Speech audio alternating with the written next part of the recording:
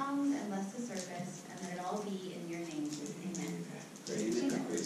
All right, so let's start the chorus book number 18, coming down, down, down.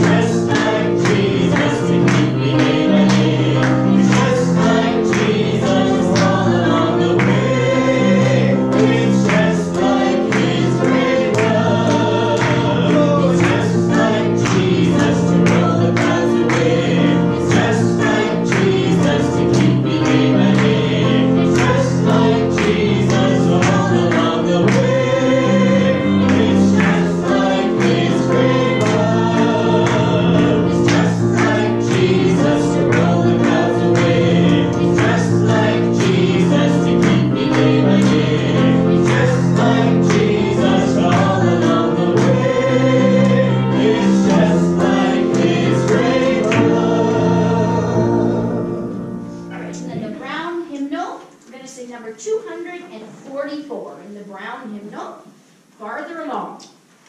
Tempted and tried, we're oft made to wonder why it should be thus all the day long. While there are others living about us, never molested, no one at all. 244, farther along.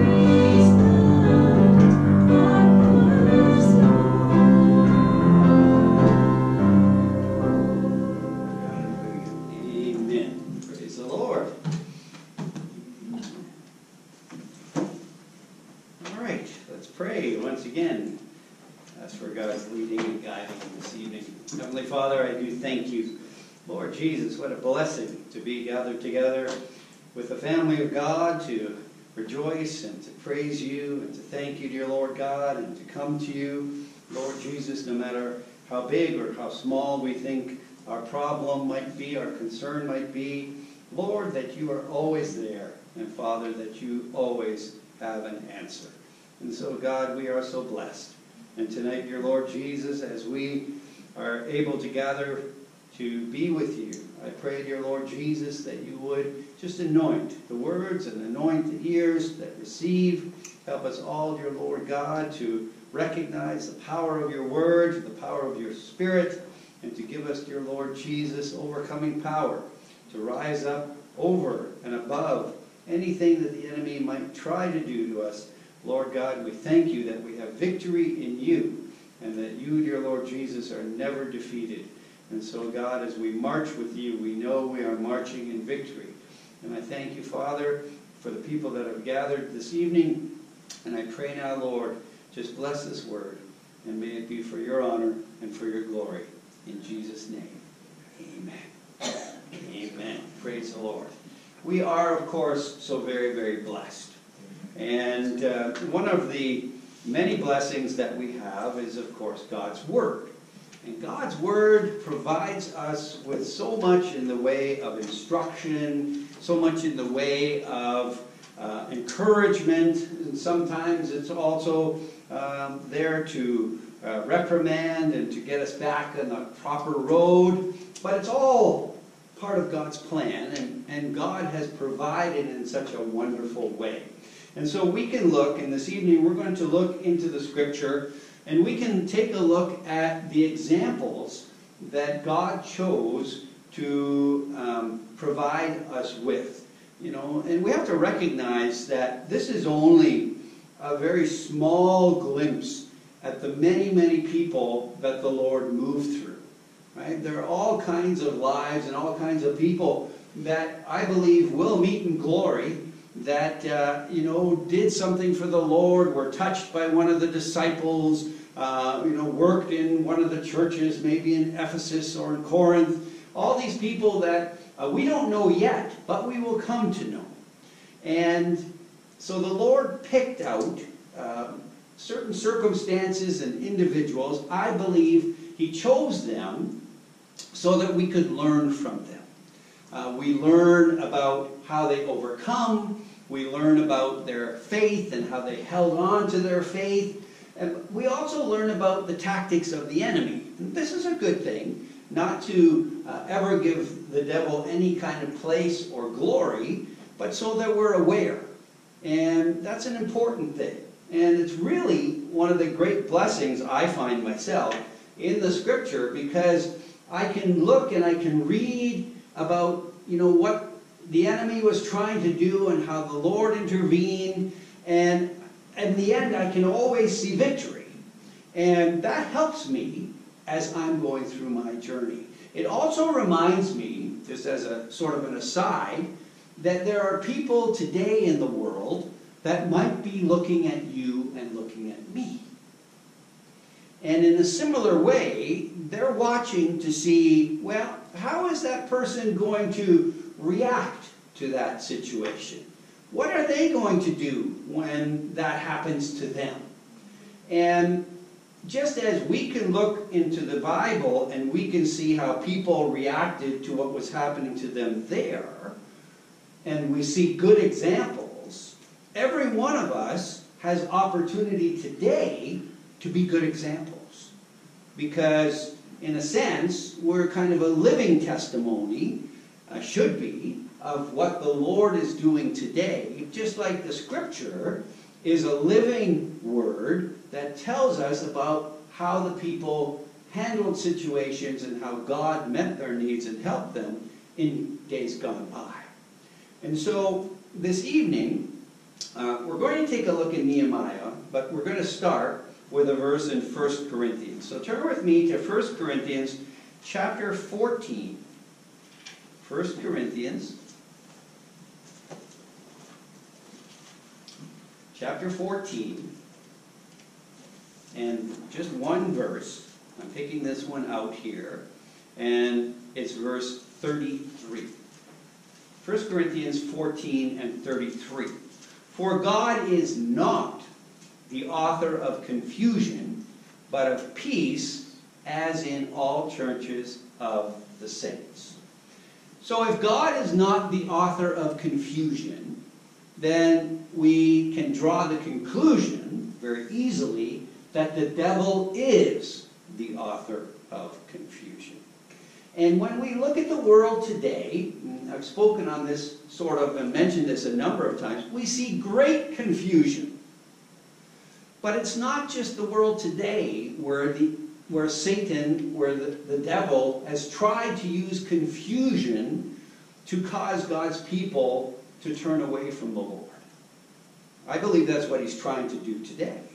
And it's, it's so bad today, really, that he's infiltrated into so-called Christian churches so that the gospel itself isn't being preached the way it should be preached, the way it's stated in the Bible, and so that even Christians themselves are confused if they look at one church and one church says this is okay, and then they look at another church and that church says no, that's not what the Bible says, and another one says yes, that's okay according to the Bible. And that, of course, does nothing but weaken God's people and cause great, great confusion. So the devil is the one who is trying to confuse you and me today. And his reason for that, and what we're going to see in Nehemiah, his reason for that, one of the reasons, is to try and get God's people to stop doing God's work. You see, if he can stop God's people from doing the work that the Lord is instructing them to do by confusing them or causing confusion in the camp, so to speak, then that's exactly what the devil wants. And actually, he would like to take it even further because he wants Christians to turn away from God by confusing them. I was reminded as I was preparing for this particular uh, message that my name and yours, I trust, is written in the Lamb's book of life because God put it there. He offered us this gift of salvation, right? The Lord offers us that gift. And if we accept, it's God who puts our name in that book of life. We have to remember that the devil cannot erase your name or my name from that book of life. But what he's trying to do is confuse God's people so that we ourselves turn away from the Lord, thus causing God to remove our name. See, the devil doesn't have the power to take away my salvation. You have to remember that. The devil cannot take away my salvation. But he will try and cause confusion. And confusion takes away peace. And in that tumult that the devil tries to create, some of God's people turn away from God. So, this confusion that the Bible talks about is really one of Satan's weapons to try and get God's people to turn away from the Lord, thus losing their salvation. Okay? So I want to take a look in Nehemiah at an example of confusion that isn't new. It's the same thing. And you know, I also say this and over and over and over again, and you should know this by now. The methods that the devil uses are not new. And that's a real blessing for us because God has described them very, very well in the Bible. Okay? There's no secret attack. There's no secret weapon that God doesn't know about and that God doesn't have an answer for. So when we look at Nehemiah chapter 6, Nehemiah chapter 6, I'll give you an opportunity to turn there. Of course, Nehemiah was building the wall, right? You'll remember? He was sent and he was building the wall that had been destroyed. And, and I want you to think about Nehemiah's task, right? It was a very natural thing that he was doing, but he was led by the Spirit to do it. You see, God uses people like you and like me, He uses people as His tools to get natural things done. And Nehemiah had been given a task, I believe, by God to rebuild the wall that had been broken down and destroyed and, and left in ruin. And the enemy doesn't want that to happen. Okay? Now, we're aware of the events here, but we're going to read them through. And I want you to look at them and I want you to consider as we're reading this, and again I say, that the devil hasn't changed his tactics. And so, just like Satan uses his disciples to try and stop Nehemiah from getting the job done, the devil today still uses his disciples to try and get God's Christians today, you and I, to stop getting God's work done. Okay? So he's going to try. This, see, the devil always tries. But if we put our faith and trust in the Lord, and if we do like God tells us to do, just like Satan always tries, he always fails. He always will fail if we do what God is asking us to do. Okay? So, Nehemiah chapter 6. And I want you to look, and we're going to take a quick look at, as I read here. We're going to read oh, almost all of the chapter, so we'll get moving here. Um, because it's really hard to sort of take pieces out. Because I want you to see what's happening. So, Nehemiah 6, verse 1. Now it came to pass when Sanballat and Tobiah and uh, Geshem, the Arabian, and the rest of our enemies. Now, so notice right away, Nehemiah knows who the enemies are. Right? He calls them our enemies. And we'll come to why he knows that in a minute. Heard that I had builded the wall, and that there was no breach left therein, though at that time I had not set up the doors upon the gates. That Sanballat and Geshem sent unto me, saying, Come, let us meet together in some one of the villages in the plain of Ono. But they thought to do me mischief. Now, how did he know that? How did he know? Well, he knew they were his enemies. Then I can ask the same question. How did he know that they were his enemies? Um, let me just jump, and we're going to come back to this a number of times. Go quickly to verse 12. And lo, I perceived, and that's where I want you to stop. This word perceived, okay? You see, Nehemiah had been gifted by God to perceive, to understand, to recognize, to see, not through natural eyes alone, but more importantly through spiritual eyes. Nehemiah was able to perceive what was really going on. And this is an important gift that we need to ask the Lord for today. Okay? Because if we can perceive what's really going on, it gets rid of confusion. What is confusion? Confusion, if you think about it in a natural, is when somebody's standing, perhaps at a crossroads, and they say, Well, I don't know which way to go. Do I go this way? Looks okay. Do I go that way? That looks okay. Do I just stay here? Do I go back? What am I supposed to do? That's confusion. Okay? But God is not the author of confusion. The enemy is. And one of the ways that the Lord helps us, can help us, is by giving us the ability to perceive, to see what is the truth, what is the way to go. Nehemiah was a person just like we are.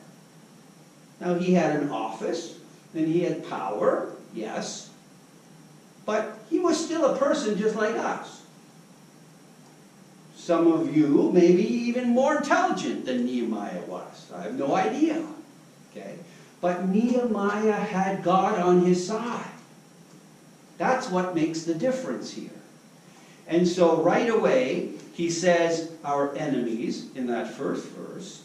And you see, as they were trying to lure him away, as they were trying to distract him, and that's one of the tactics that Satan uses, as they were trying to distract him from getting the gates. See, most of it was done, right? He says the walls were up by this point in time. And there had been lots of attempts to stop him even before this. But the enemy doesn't stop just because you're almost done. He's there right from the beginning. And so here, as he's almost finished and he almost has the gates in place, along come these people again and they say, let's have a meeting. Let's meet in a village somewhere. Okay? And you notice Nehemiah's response. And I sent messengers unto them saying, I am doing a great work, so that I cannot come down. Why should the work cease whilst I leave it and come down to you? Do you see what they were trying to do, right? You see, they wanted to remove Nehemiah from the work so the work would stop. And that's exactly what the devil wants to do.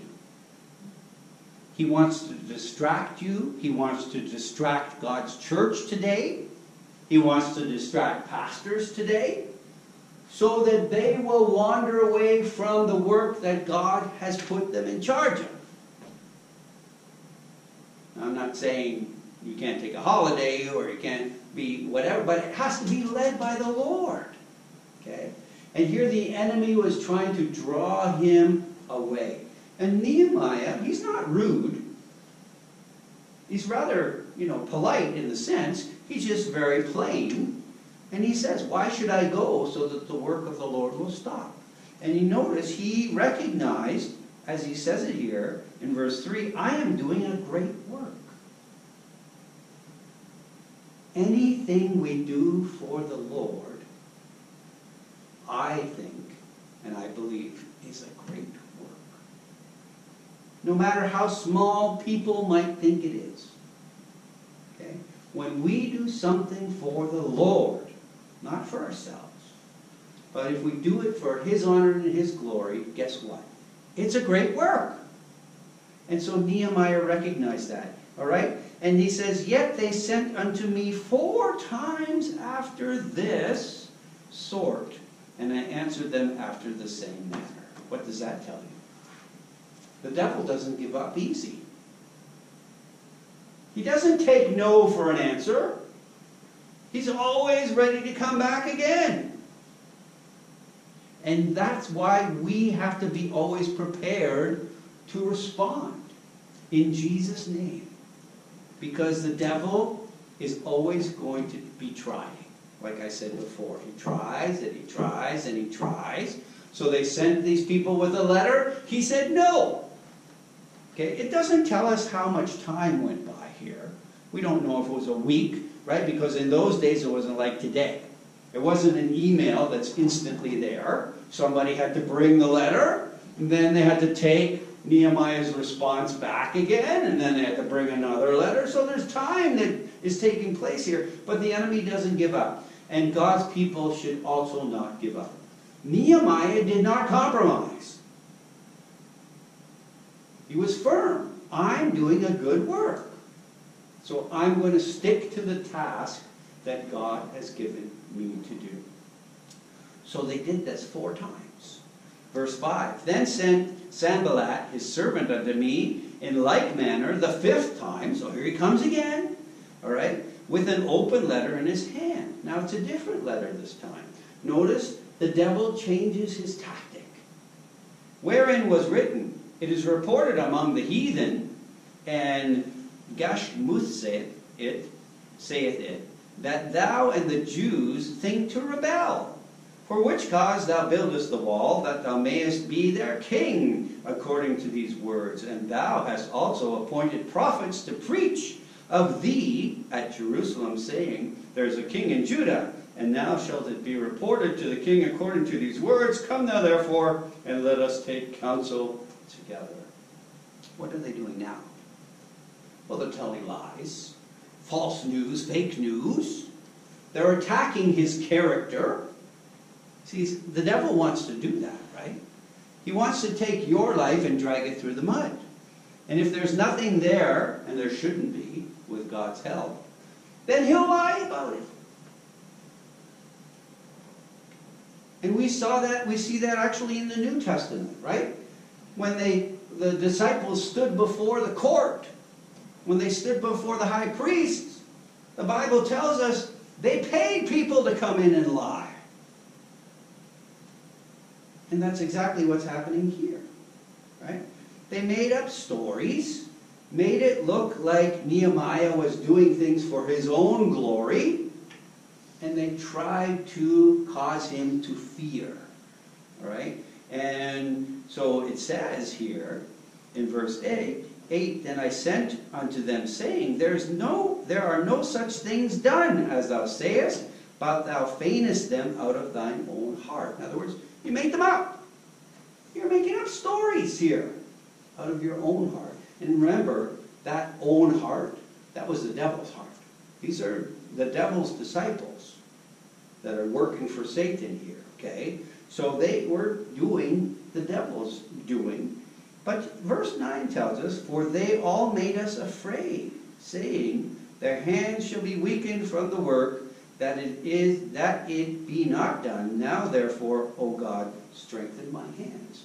So Nehemiah gives us a little bit of insight here. Okay? He was a little bit afraid here. Okay? Because now they were talking about sending information to the king to make it look like Nehemiah is basically, you know, a rebel and he's going to take over or try and have his own kingdom.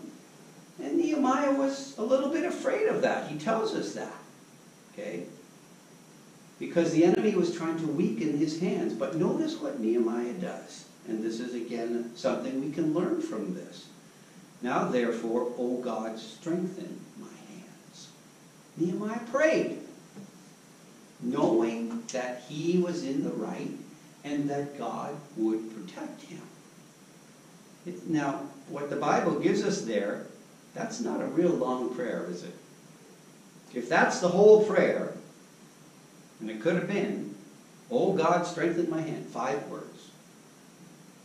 So our prayers don't necessarily have to be long, but they have to be sincere from our heart. And so Nehemiah prays. And, you know, the Lord, I believe, helps him, but the devil's not finished yet. Okay? And in the next section, afterward I came unto the house of Shemaiah, the son of Delaiah, the son of Mehetabeel, who was shut up. And he said, Let us meet together in the house of God, wherein uh, within the temple, and let us shut the doors of the temple, for they will come to slay thee, yea, in the night will they come to slay thee. Though now they were attacking Nehemiah's life. And I said, Should such a man as I flee? And who is there that, being as I am, would go into the temple to save his life? I will not go in. And lo, where we read before, I perceived that God had not sent him. So what's the devil doing now? False prophets. Somebody came as a prophet of God, right? And it seems pretty reasonable. They're going to come and kill you at the night at night. Come on, let's run into the church, into the temple. Sounds okay. But that wasn't God's will. And this is again why it's so important that we have the right abilities to perceive, to understand what's really going on. Okay? Verse 12 again, and lo, I perceived that God had not sent him, but that he pronounced this prophecy against me, for Tobiah and Sanballat had hired him. Hmm. He was a prophet for hire. Right? And I think, I think today in the world, we have lots of prophets for hire. And they're not doing or saying what the Lord wants them to do. Verse 13, therefore was he hired that I should be afraid and do so and sin, and that they might have matter for an evil report, that they might reproach me. My God, think thou upon, sorry, think thou upon Tobiah and Sa- Sanballat, according to these their works, and on the prophetess Noadiah and the rest of the prophets, that they should have put me in fear. And so the wall was finished in the twenty and fifth day of the month Elul, uh, in fifty and two days. Okay? So, what did I pull from this? What can you take from this? Well, my uh, title is Open My Eyes. See, Nehemiah, as he perceives, it's really God opening his eyes spiritually to what's going on around him. What is the goal? Right? Nehemiah had to keep his eyes on the goal and not look at what the enemy was doing or hear what they were saying, but he had to have his eyes opened. And the Bible tells us, right, if you go to Ephesians for a moment, in Ephesians chapter 1, Ephesians 1 and verse 18. Here Paul is writing, and he writes to the church in Ephesus, and one of the things he says to them in verse 18, the eyes of your understanding being enlightened, that ye may know what is the hope of his calling, and what the riches of the glory of his inheritance in the saints. You see, God needs to open our. You might say, well, my eyes are open. I've been saved for X number of years, and the Lord is moving through my life, and I'm doing God's work. Well, praise the Lord for that. But just like every morning we wake up and our eyes open, our natural eyes, every day, I believe, we need to ask the Lord, Lord, open my eyes so that I may see. Today. Because the enemy, he's not taking a holiday, is he? And Nehemiah, see, he couldn't just pray, open my eyes so I see that this letter that is coming is a trick. No, he couldn't just stop there because the next time the devil used a different tactic. And then after that, the devil sent a false prophet. You see, we have to have our eyes open. We have to have that ability to perceive all the time. Because one day, Satan might come in one way. And I have to ask God, help me to see it. And then the next day, the devil might try and come a different way. And again, I have to be praying, Lord, help me to see it. Help me to perceive. Help me to understand. Right? Because that's what the scripture says here, right? The eyes of your understanding being enlightened. Okay? A revelation of what is really happening around us. What is the devil really doing here? Is this really, does it, it looks really good, but is that true? Well, God always knows. And we have to ask God to help us to see it.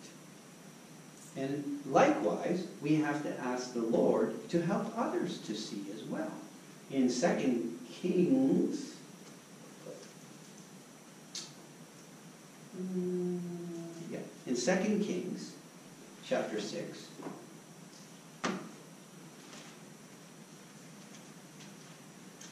This is uh, Elisha. Elisha prays the following.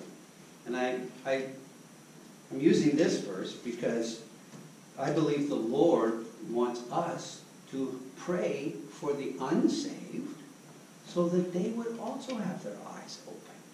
Right? I mean, we have loved ones, we have people that we might work with, neighbors, and we want God to open their eyes so that they would also see. And so in, in 2 Kings 6 and verse 17, it says, And Elisha prayed and said, Lord, I pray thee, open his eyes that he may see. And the Lord opened the eyes of the young man, and he saw, and behold, the mountain was full of horses and chariots of fire round about Elisha. See, until God opened the eyes of the servant, the servant thought, we're done. But we can pray, not only, Lord, and we must pray, open my eyes, but we can also pray for others and ask God to open theirs. And when our eyes are open, guess what? Confusion disappears. When the Bible speaks about the light and the dark, right? It's using images that to help us understand because often we are most confused in the dark. That's a time when it's easy in the natural to get lost. We lose our bearings, right?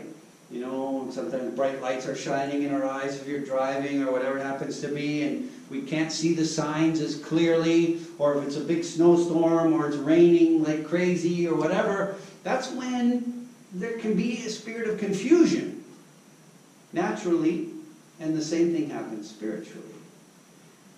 And when we're confused, we lose our peace. That's when that's what happens, and that's exactly what Satan wants. But that's when the Bible teaches us to pray, Lord, open my eyes. In other words, Lord, help me to understand. Help me to see that you're still here. That you're still in control. That you're still moving. That God is still on the throne and help me to see that Satan is defeated.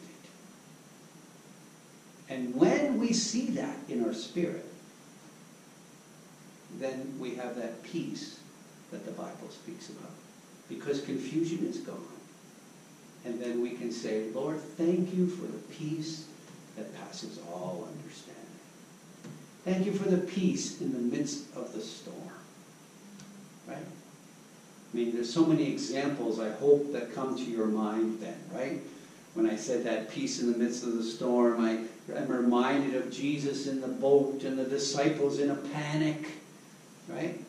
Why were they in a panic? Well, they forgot that God's in control. They forgot that Christ was in the vessel. And so they were in a panic, confusion. But then when the Lord speaks to that storm, peace. Confusion is gone. Okay? And so when Satan comes and he tries to get us off track, help us to be able to perceive what he wants, how he's trying to do that, by asking God, open my eyes that I might see, and that I put my trust and faith in you. So let's all stand together and thank and praise the Lord for his goodness and his blessings, because we have so many, many blessings. And as I said earlier, you know, I, we, so we take much for granted. It's unfortunate, but we do, right?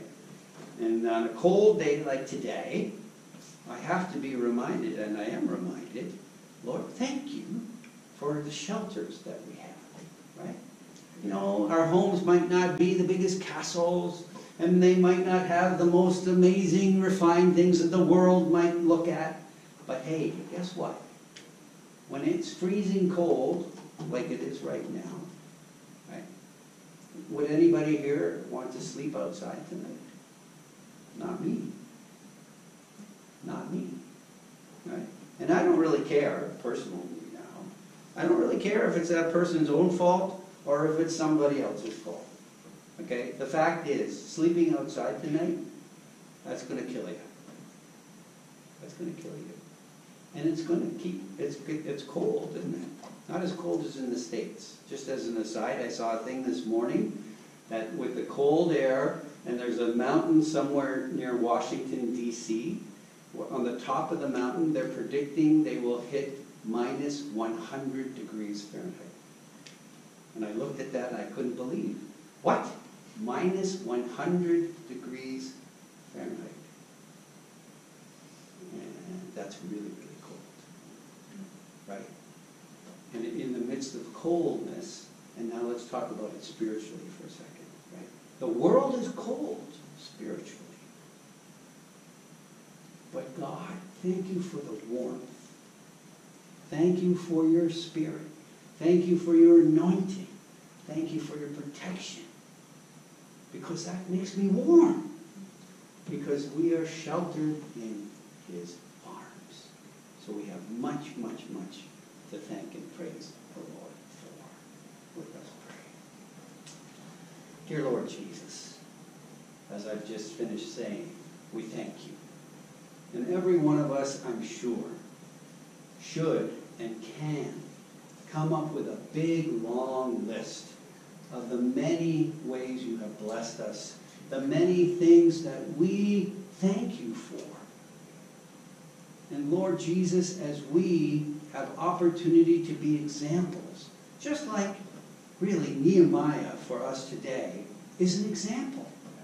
Help us, help me, help all of us to be examples today to those around us that would try to cause us to fall, would try to cause us to falter, be distracted, to stop doing the work that, Lord, you're asking us to do. But God, help us to hang on. Help us, dear Lord Jesus, to be rooted and grounded in the rock that, dear Lord Jesus, we know you do not change, you do not shake, you do not falter or crumble. And so, dear Lord God, we have this opportunity to be a testimony to the world around us. To say, no, we're not turning from the path that the Lord has put us on. We're not going to step away from the straight and narrow way. We're not going to compromise on the Word of God. And what the Lord says is wrong is wrong. And what the Word of God says is right is right. And it doesn't matter what the world says, what the people say. What does God say? Help us, dear Lord Jesus, in love to make those statements. And to keep working, to keep working, so that the world will see, so that the world will acknowledge that there's something different in us, in those people, in God's people. Lord, help us as we sang tonight. Prepare me to be a sanctuary. Help me to be different. A place, dear Lord Jesus, where you can dwell within and you can work through everyone that's here, every one of your children, every missionary that's working for your honor and for your glory. Lord, move through them to be those examples that people will talk about. I'm sure, Lord, that people talked about Nehemiah, that they looked at him and they said, well, why didn't he stop? And how did he know that this was a trick? And always the glory and the honor comes back to God. Always it is because the Lord showed Nehemiah. And dear Lord, I pray, help us to be the same. That God, we give you praise, honor, and glory, that you are leading us, that you will guide us, that you will open our eyes so that we can perceive what the truth is in the midst of the confusion. And let that confusion be ended. Let that confusion, Lord God, be pushed away, pushed aside, but in Jesus' name, so that we, as God's people, have a spirit of peace, because we're trusting in you, Lord. We're holding firm. God, you've put us on this path. You've given us this job to do. And we're not changing unless you, Lord, tell us to do it. Thank you, Father, for your assurances and how we can just rest in your arms each and every day. We thank you, Father, for moving on lives, and we're going to pray now, Lord God, for the many that don't have that peace. See, Satan, he's always trying to rob it. He's always trying to take it away. But God, you can restore. You can restore. And dear Lord Jesus, that's what we're believing for tonight. Open my eyes that I might see. In Jesus' name.